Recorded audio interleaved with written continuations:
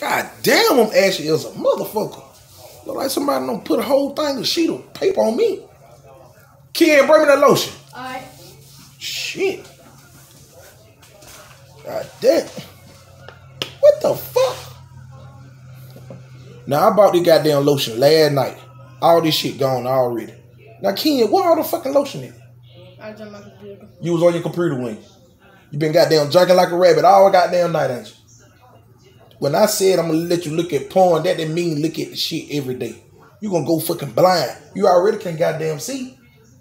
God damn, boy, you a damn freak, boy. You gonna be a porn star. Get your ass on. Go on. And bring me that damn computer. Read a fucking book. Or a magazine. Hell no, they got nasty shit in there too. Don't look at shit, just look at the wall.